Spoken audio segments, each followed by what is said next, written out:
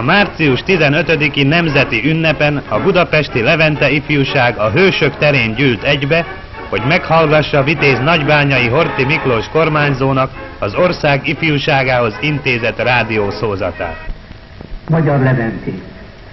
Az ország egész fiatalsága mellett elsősorban ti hozzátok szólok, mert reátok nagy feladat vár.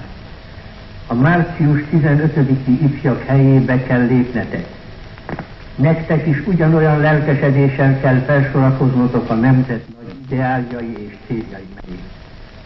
Ma ti vagytok hazánk reménysége, a magyar jövő valóra váltó. Legyetek mindig méltók nagy őseitekhez.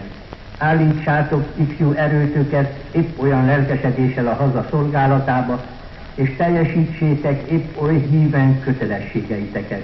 A nemzeti élet egyik legfontosabb alapja a fegyelem. Az összetartás, a belső rend fenntartása, a belső front ereje ma az ország számára a lét vagy nem lét kérdése.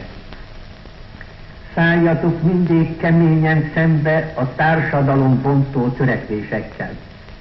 Ezek rendszerint válogatás nélkül mindennel szemben a tagadást hirdetik. Bízom a mai fiatal magyar lelkek egészséges életerejében, amely meghozza a szebb jövőt.